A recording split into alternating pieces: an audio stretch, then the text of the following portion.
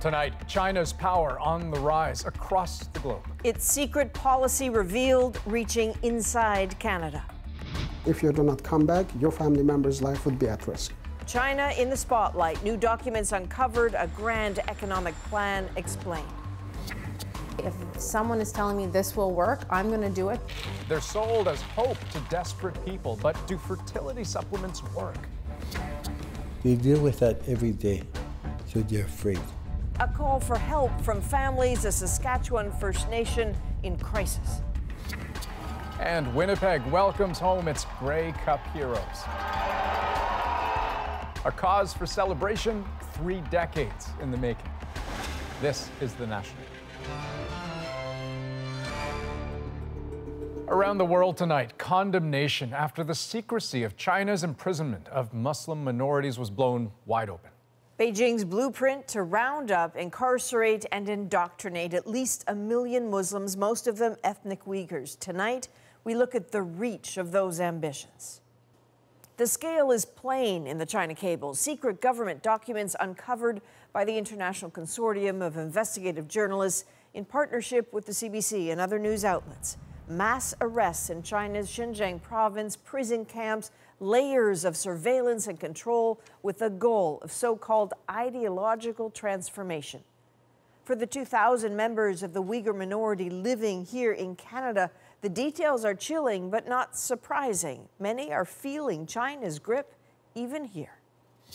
Canadian Chinese. He's far from China, but not beyond its reach. A young Uyghur too afraid to reveal his identity. Because Chinese government can track you uh, everywhere. His is a story of pressure, and he shows us documents he was pushed to send to China. His Canadian address, copies of his ID, and something extraordinary. And they even got my blood type and DNA. So, how'd this happen? Back home in China, his parents had been approached by police, curious about where he was. The implied threat? Get the information, or they might end up in the detention camps. But they He tells us authorities already had seized his parents' passports so they can't leave China. For him to go back might mean detention. How will you see your parents again? I can't I can't see them in in other countries. Not just one man's worries, surveilling, separating families seems part of China's plan. The leaked documents outline how people are to be tracked or refused approval for visas. Some who've left the country arrested the moment they cross the border back. The bulletins note watching people with dual citizenship and point out five are Canadian. Yeah, she spoke to me before. After 20 years in Canada, Uyghur activist Rukiye Turdush is less afraid for herself, but worries deeply about the Uyghur students here who reach out to her for help. Her phone seems a lifeline for them. Some of them, even the mothers and fathers, force them. Okay, so the police bothering me so much. Send the, like power of attorney. Write down the letter with the lawyer. Just uh, you're not my son anymore, or you're not my daughter anymore. Beyond the heartbreak of having to disown their parents, some are pressured to return to China, frightened their families will be punished if they don't. Some students just disappear from Canada. Hard to know how many have gone. At least six, seven of them told me.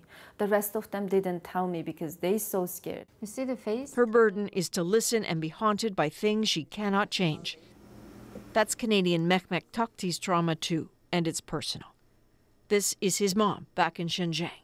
He last spoke with her in October of 2016 and says it felt like goodbye. She told me, if we are not able to meet this world, probably hereafter, and do not think too much about us and continue to do what is right for you and take care of yourself.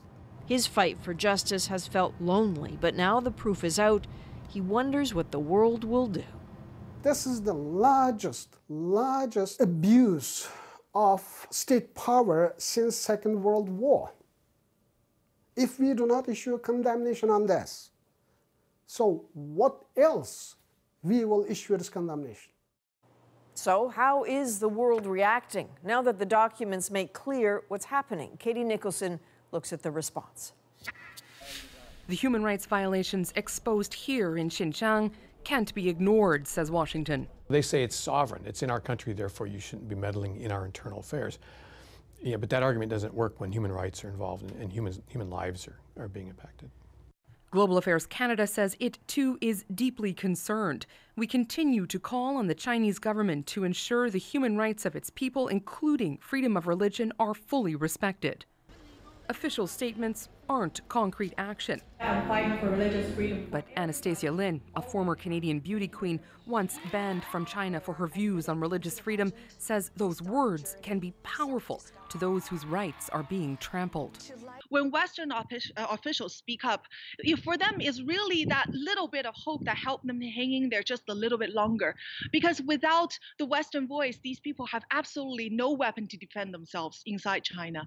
A former Canadian ambassador to China thinks Ottawa can do more than issue a statement. Another measure that we, have, we, we should consider taking is making sure that no Canadian equipment uh, is uh, sent to uh, China that could be used uh, for crowd control or used to uh, limit freedom of speech. It's a game changer. The Uyghur Human Rights Project in Washington believes the abuses laid bare in the documents will prompt more than government action. I expect a rash of company decisions to stop sourcing there and to stop operating there. I certainly expect that it will be very hard for UN bodies to avoid upholding the Universal Declaration of Human Rights, which requires uh, states to act uh, on gross human rights violations. For its part, China says this is an internal matter, and the stability, ethnic solidarity, and harmony in Xinjiang is the best response to such disinformation. So, Katie, as you said, there are statements now, but I think a lot of people are wondering what about action? Okay, so not necessarily action, but a call to action. The UK Foreign Office now calling upon China to open its borders to uh, UN monitors uh, to come in to the camps and actually have unfettered access, see for themselves what's happening there. And uh, Guy Saint-Jacques, the former uh, Canadian ambassador to China, saying, yes, that is something Canada should also throw its weight behind. Okay, we'll watch to see what happens. Katie Nicholson, thanks very much. You're welcome. And in an entirely different case of detention in China, two Canadians, Michael Kovrig and Michael Spavor, have been held there for nearly a year now. Global Affairs says the most recent consular visits for Kovrig and Spavor were last week, but there's been no apparent progress in getting them released. They were arrested in China just days after the RCMP arrested Huawei executive Meng Wanzhou to face charges in the U.S. In May, the two Canadians were charged with spying offenses. And stay with us tonight as we launch our new special series on China's power. We will look at the man driving a quest for global dominance and how he's doing it. Sasha Petricic examines the myth and the mission of Xi Jinping. That's coming up. And then there's Hong Kong. The Chinese government may need to reconsider how it handles the region going forward after a record voter turnout with a near sweep for pro democracy candidates. Greg Rasmussen is there. We have five demands. Some of the winners in Sunday's vote went straight to the scene of one of the city's most heated battles. A university where some pro democracy protesters, fearing arrest, remain barricaded inside. We should show uh, our unity to save our students, uh, save our university campus. After months of turmoil, most of Hong Kong has been calm since the election. The pro democracy Civic Party saw many of its candidates swept in as part of a wave energized by young voters. Beijing should listen to Hong Kong people. We have spoken loud and clear. Accountability for police misconduct and universal suffrage for higher levels of government are two key demands. He says despite months of rioting and unrest, the vote made it clear most citizens backed the protest movement rather than the pro Beijing establishment. They have all the resources, they have been here for so long, they have the machi- machinery, they have the big data, and they still fail. Before Sunday's vote, 70% of the seats were held by parties sympathetic to Beijing. It shows a kind of very clear support uh, for democracy by the Hong Kong people. He says the city's higher level of government, the Legislative Council, tried to pretend it had the support of the silent majority. And then they dismissed public opinion polls, they dismissed demonstrations, and then, but this is a kind of a, a very unambiguous message uh, sent to them by the voting population. Hong Kong's Beijing backed leader, Carrie Carrie Lam says she would listen humbly and seriously reflect on these lower level elections. Including deficiencies in governance, including unhappiness with the um, time taken to deal with the current unstable environment. Some of the newly powerful pro democracy parties responded with a fresh call for Lam's resignation. Greg Rasmussen, CBC News, Hong Kong. Now to Washington and the latest firing of a top U.S. official. Navy Secretary Richard Spencer was pushed out yesterday after Donald Trump objected to the treatment of a Navy SEAL facing military justice. Susan Ormiston shows us the unlikely way it all played out. It was Animal House at the White House today. First, Cash and Ben, the draft horses, delivering this year's Christmas tree. And then, with questions swirling around another high level firing, President Trump emerged with Conan, the dog. We just gave Conan a, a medal and a plaque. And it's really, uh, and I actually think Conan knew exactly what was going on. A brave dog, he said, who chased al Baghdadi up a Syrian tunnel, was almost fatally injured, and survived. Unlike Trump's Navy Secretary, Richard Spencer, who was forced out on Sunday after the president objected to the way a Navy SEAL was treated. Eddie Gallagher was acquitted of murder in the death of a 12 year old ISIS fighter, but he was demoted for taking a trophy picture of himself in front of the corpse. The Navy was considering expelling Gallagher from the elite unit, stripping him of his prestigious Trident pin. Trump wasn't about to let that happen. With Eddie Gallagher, you know that story very well. They wanted to take his pin away, and I said, No, you're not going to take it away. Enter the Defense Secretary, Mark Esper. The case of Eddie Gallagher has dragged on for months and is distracting too many. It must end. Following the president's order, the Navy SEAL keeps his rank, while the Secretary of the Navy is fired. Spencer blistered the president in an outgoing letter. I no longer share the same understanding with the commander in chief in regards to the key principle of good order and discipline. What message does that send to the troops? That you can get away with things. President Trump has a record number of cabinet departures in a first term. That's 10. Technically, the Navy secretary is not in cabinet, but his leaving raises fresh questions about Trump's relationship with senior members of the military and his personal interference in military justice. Susan Ormiston, CBC News, Washington. In northern Saskatchewan today, the funeral of a 10 year old girl lent urgency to a small community's cry for help in the face of what it calls a suicide crisis. In just six months, four people have taken their lives one child, two teens, and a man in his 40s. Over the weekend, five more young people made the attempt and were taken to hospital. Seven lives have been lost to suicide since 2016 in an isolated First Nation that is home to about a thousand people. And that is where Bonnie Allen begins a story that's now being heard across the province.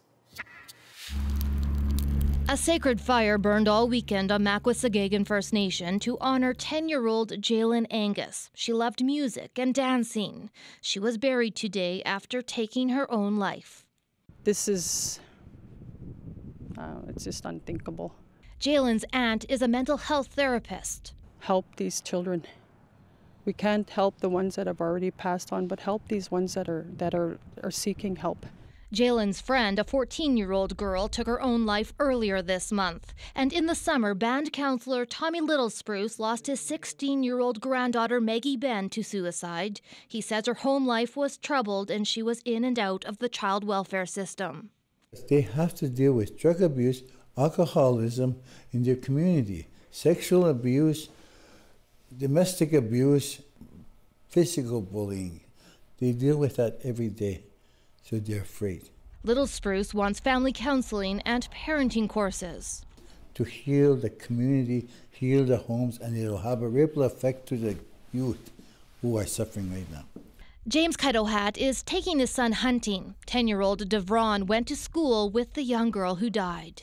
I've got him close to me every day from now on. Both the federal and provincial governments have pledged more resources, but the provincial opposition is calling for a suicide prevention strategy.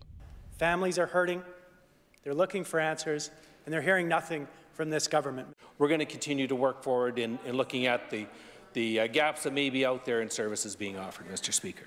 The band leadership says crisis counselors will assess all school age children for suicide risk in the days ahead. But they're asking for long term funding to hire full time therapists, ones who would provide suicide intervention training and family counseling for months, even years. Bonnie Allen, CBC News, Regina. A federal court has approved one of the largest financial settlements in Canadian history. It means the government will pay an estimated $900 million to Canadian Forces members and Defense Department employees who suffered sexual assault or misconduct. Individual payments will range from $5,000 to $155,000 depending on the circumstances. A lawyer for one of the victims called it a historic victory that holds a powerful institution to account.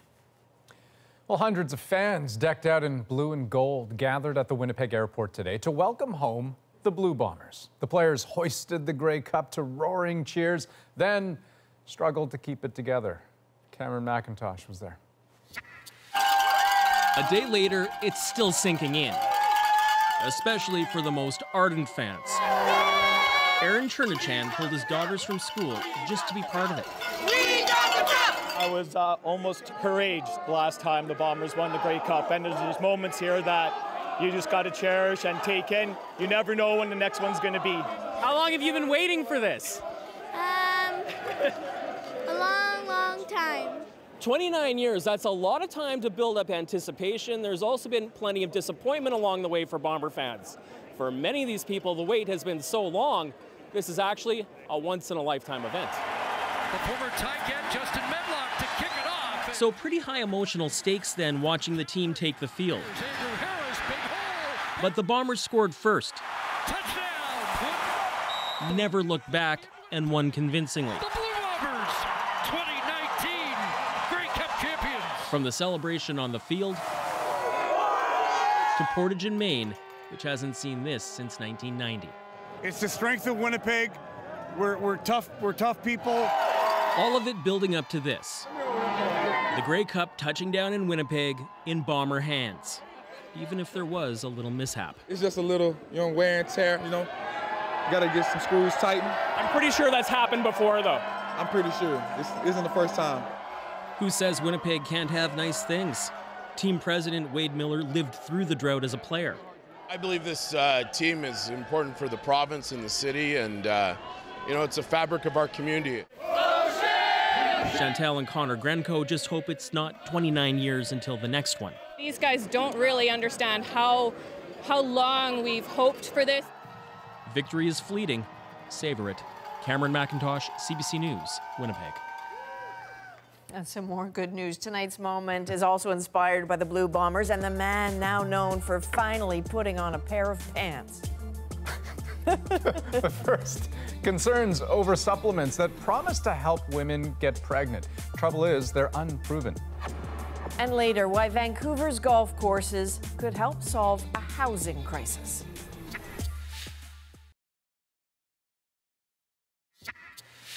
A U.S. consumer watchdog is calling for a crackdown on fertility supplements for women. Some are sold online, some at retailers, some are Canadian. But as Vik Adhopia tells us, they all have one thing in common.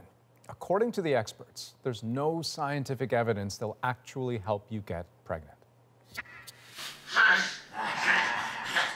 Before her hands were full with three little children, Carolyn Dubé's heart was heavy. She couldn't get pregnant. It's incredibly emotional, and um, you know, there's a process of grieving and anger and frustration.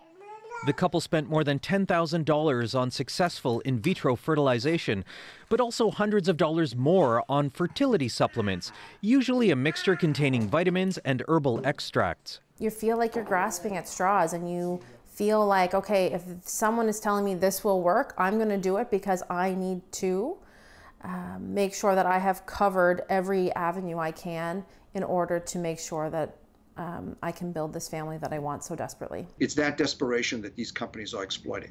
The Center for Science in the Public Interest is a U.S. consumer watchdog. It successfully pushed the Food and Drug Administration to crack down on supplements sold as aids for opioid withdrawal. Now the group wants the FDA to go after makers of natural fertility supplements for women. If they provided a study at all, we looked them up. Uh, we looked elsewhere on, you know, in the medical literature to find evidence that particular ingredients work, but in the end, we came up empty. There's just no evidence that any of these 39 products uh, has the kind of evidence for effectiveness that you would want. Two of those supplements are Canadian Fertilify and Fertile Pro. They're licensed by Health Canada, but not for fertility, though that's what the companies promote in their online marketing.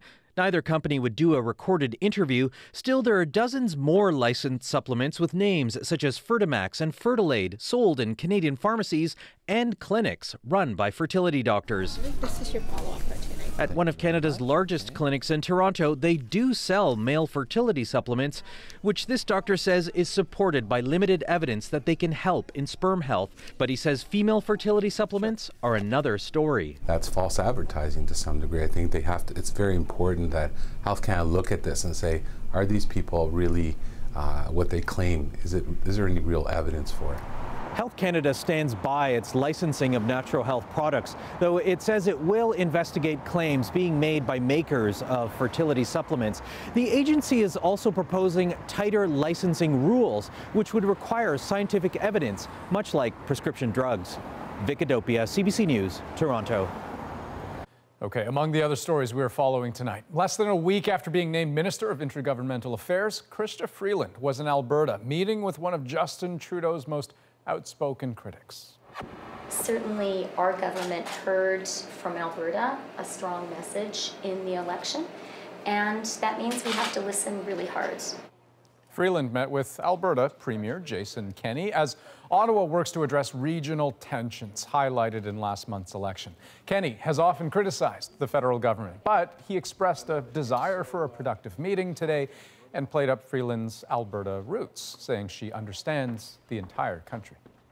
Meanwhile, frustrated Quebec farmers looking for government action on that CN rail strike, they took their message directly to the Prime Minister. A convoy of tractors drove to Montreal today, delivering a giant pile of corn to Justin Trudeau's constituency office. They say the strike has disrupted their supply of propane, which they use as fuel to dry their crops. Canada's largest potash mine also announced a temporary shutdown, resulting in more than 500 layoffs in Saskatchewan. Up next on The National, a closer look at China's growing influence in the world, its plan to top the world's economy, and the man behind it all. We begin our special series, China's Power, right after the break.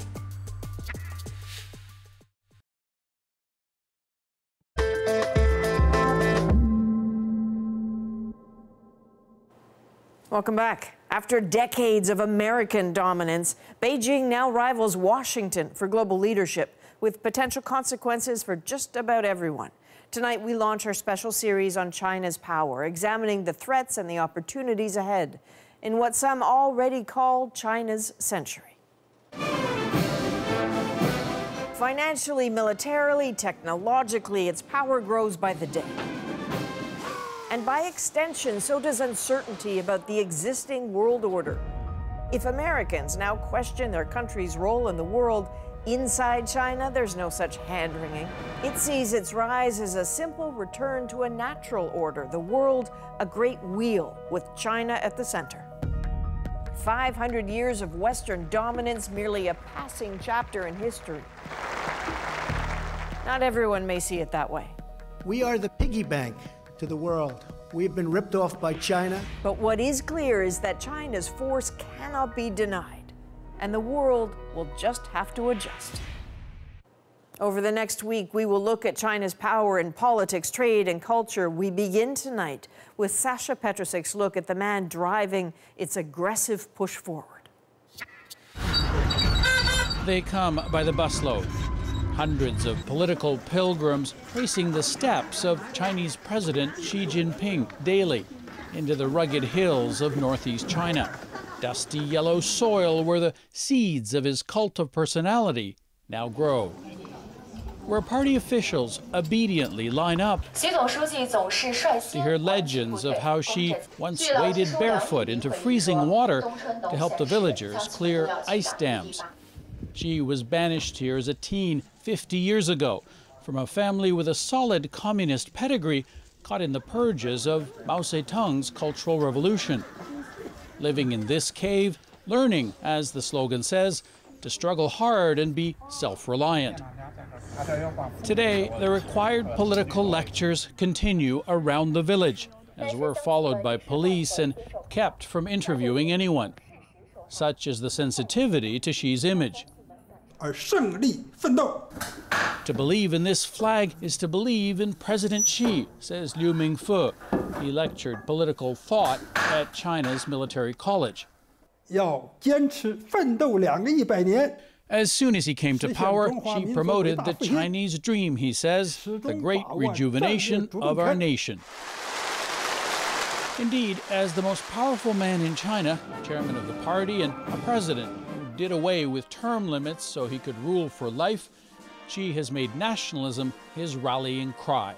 We will safeguard our sovereignty, he told the People's Congress. Any tricks to split China are doomed. Xi has built a Chinese military force unlike anything the world has seen here. His key aim is to reintegrate lost territories like Hong Kong and Taiwan, possibly by force, and to become the world's leading economic power, challenging the U.S. in every way. To lay the groundwork, Xi has consolidated power at home with a growing personal presence and a tough dictatorial rule, reining in any possible dissent from Muslim Uyghurs by jailing more than a million, shutting down churches, and locking up human rights activists, cracking down on opposing voices in the Communist Party. Still, there are some who challenge his vision. Zhang Lifan is a historian. China's one party dictatorship is very difficult to sustain says the former member of the respected Academy of Social Sciences, who's among few here not afraid to speak out. Xi is full of fantasies, Zhang says. He lives in the illusion of building a great world empire and replacing the U.S., but it's too huge and unrealistic. Not so, say the country's leaders, who point to China's rise, which has been as dramatic as Xi's own from those days in the village. And yet, the permanence of all this prosperity is not guaranteed. China's economy is slowing, its military is largely untested, and this rise to great power status is facing growing resistance internationally. Sasha Petricic, CBC News, Beijing. To get a better sense of the impact of China's ambitious economic plans, just look to the Caribbean. And this is where the Jamaican government agreed to allow the Chinese to build a huge port. David Common takes us to Jamaica for the controversy and the cost. China's power continues in two minutes.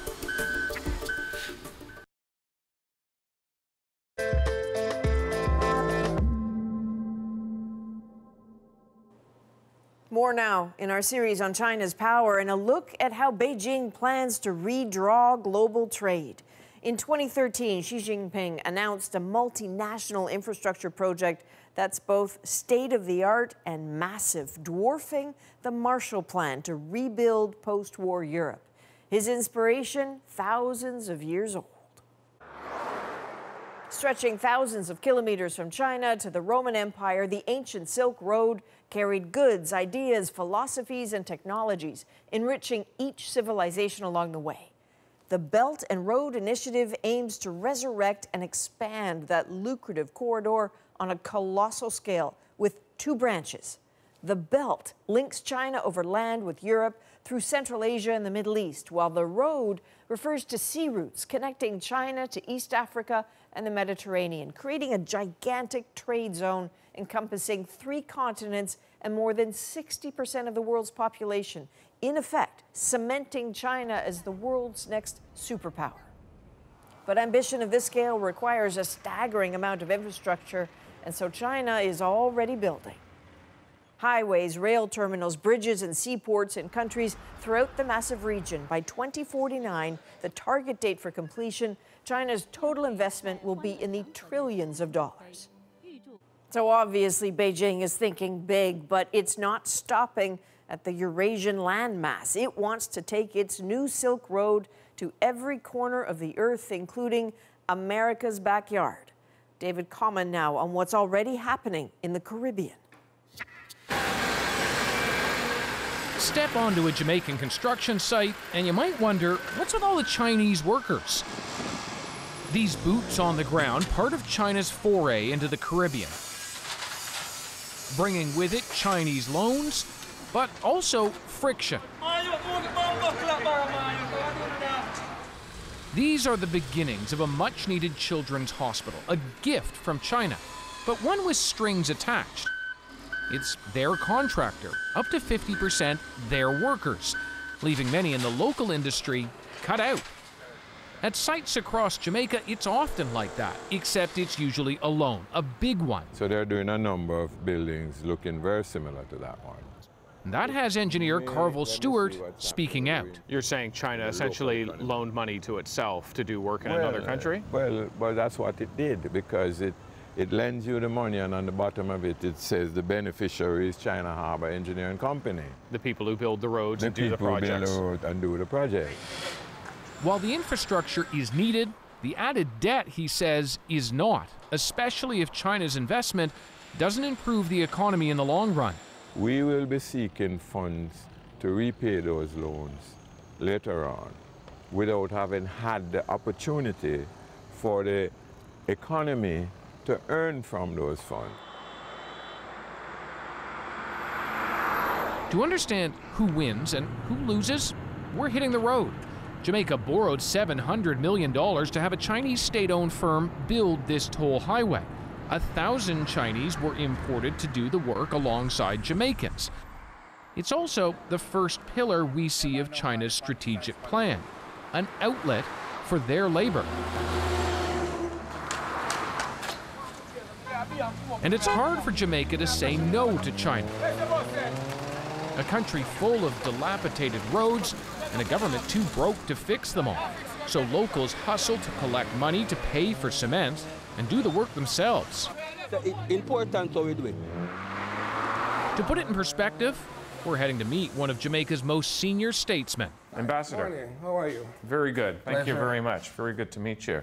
We'll get you right Richard Bernal was Jamaica's ambassador to Washington, now runs a uh, global center at its main university. I know there are cases in other developing countries where they bring in a lot of their own workers. But in this case, the numbers are relatively small and they have been reducing over time. He dismisses concerns over who's doing the work when you consider what Jamaica is getting with the loans. One, the terms are quite generous, long repayment periods, low interest. Secondly, the Chinese are very competitive in carrying out these construction projects. And thirdly, what you find is that it comes with less conditionality than Western aid. But in return for its money, China is looking for influence and opportunity. And that is all about location. So this is Little Goat Island? Yes, it is. Goat Island sits directly north of the strategically critical Panama Canal. Yes. And this is where the Jamaican government agreed to allow the Chinese to build a huge port. This is where they want to build a port. But when Ingrid Parchment heard about it, she knew it had to be stopped. I thought, why are we giving away one of our major resources to somebody because they have an idea? Why aren't we protecting for us what we need? She leads a group responsible for coastal conservation. What was it that concerned you in particular? I think the idea that they were going to be leveling the island, removing all of the trees, which is habitat for birds, and also the mangroves in particular, which are where the baby fish and crabs grow. We'd also have been doing a lot of dredging. And the dredging would mean that all of the seagrass, all of that lovely starfish you saw coming, etc., all of that would be lost as well. But not everyone had a problem. I think there are mixed responses. Persons thought there's opportunity for employment. Others thought maybe they would be using their boats to carry material back and forth. Jamaica struggles with that mix, and few places better illustrate that than here. The Alpart mine. Another pillar for China is access to the Caribbean's resources. This mine lay dormant for years, but China needs aluminum, and the bauxite they process here is a key ingredient.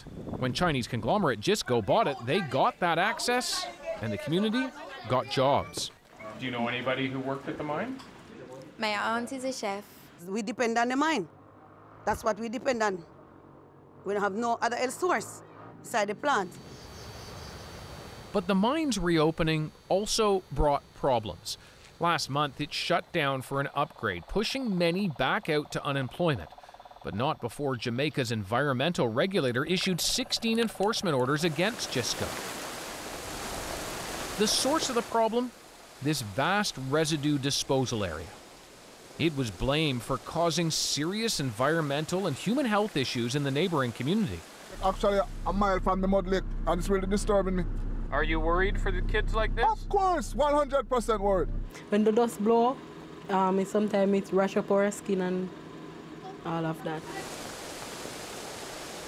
These are legitimate concerns, but they aren't new ones, says Ambassador Bernal. I'm not saying they haven't broken some laws, but guess what? The residue from bauxite plants have been here since they were established 50 years ago by Canadians and American firms. So, if Jamaicans are concerned, he argues, they should take it up with their own government.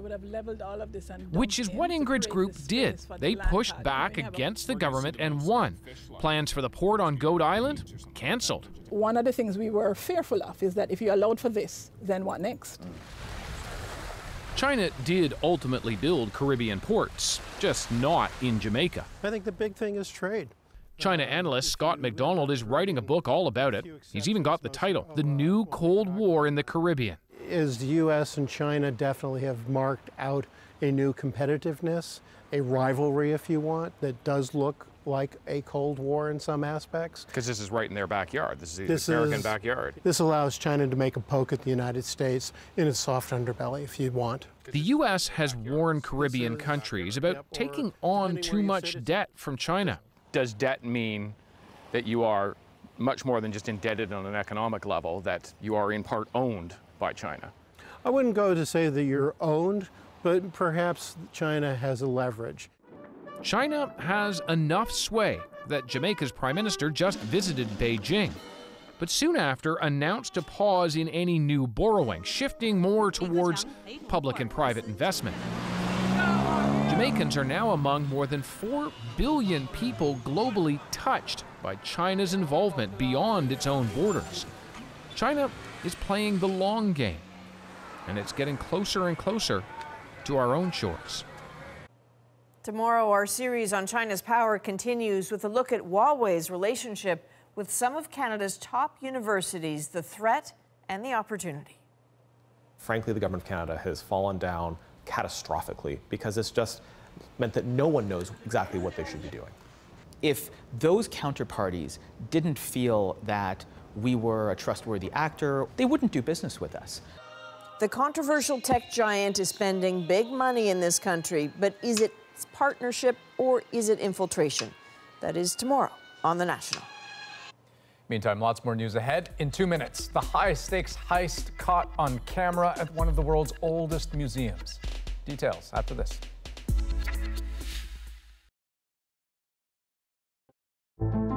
I'm Jamie Poisson, and tomorrow on CBC's Daily News podcast Front Burner, as parents of children on the autism spectrum find themselves frustrated by mainstream medicine, they're turning to alternative, clinically unproven, and sometimes harmful treatments. Subscribe wherever you get your podcasts. Welcome back to Europe now, where London has stripped Uber of its license to operate in the city.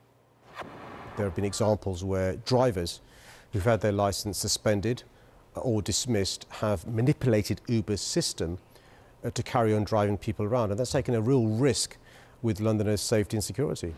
Officials say there were also more than 14,000 rides in which drivers faked their identities. But Uber isn't disappearing from London just yet. The company is appealing and can continue to operate during that process until there's a final decision. A manhunt is underway in Germany following a heist at one of the world's oldest museums. Security camera footage shows two people breaking into the Green Vault Museum, smashing a display case, and making off with 18th century jewelry. Police believe there was even a getaway car waiting outside. And what's more, it was completely dark at the time because a nearby fire caused street lights to go out. Investigators do not think that was a coincidence. Museum officials describe the jewelry as priceless. And the U.S. Supreme Court will not review the case of Adnan Syed, whose murder conviction was chronicled in the popular Serial podcast. Syed is serving a life sentence for killing his ex girlfriend in 1999. He always maintained his innocence, and after the podcast took off, there was support for a new trial. His lawyers argued he didn't have effective counsel at his trial, but in turning down the case, as per usual, the Supreme Court did not give any reasons. Okay, we'll be right back with the debate over Vancouver's golf courses. Could some part of the solution to that city's housing crisis rest on the future of fairways? We'll take a look in two.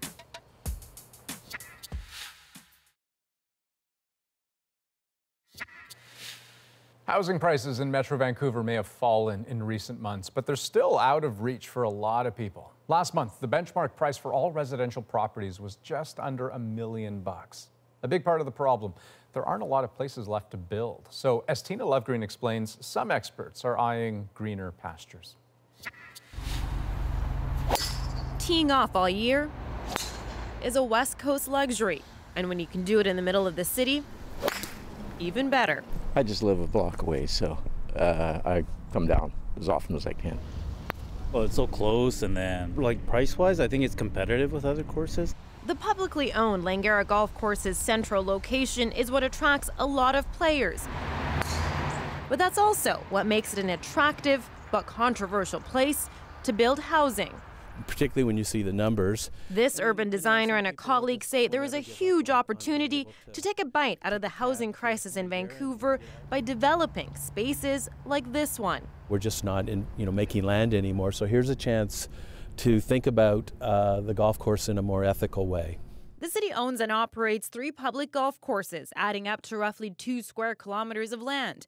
The UBC experts say if developed, it could house 60,000 people and be worth $20 billion. Well, I'm against it because I like I like golf, so I think it's a great course too, right? So yeah, I'm totally against that. There was time a few years ago where everything was being converted into a golf course, and now it's gone the other way for a while.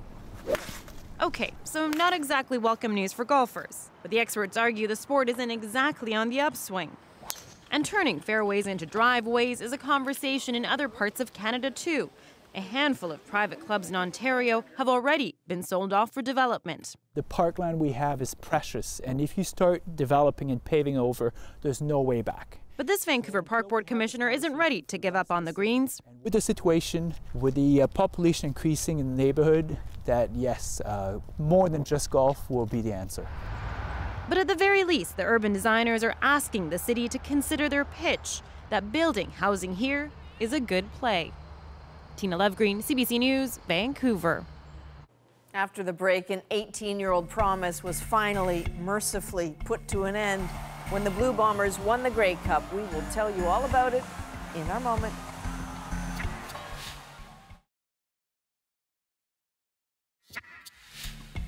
Welcome back. Okay, question. Do you remember this guy? Of course you do. He's the Blue Bombers fan who kept a vow he made 18 years ago no long pants until the team won the Grey Cup.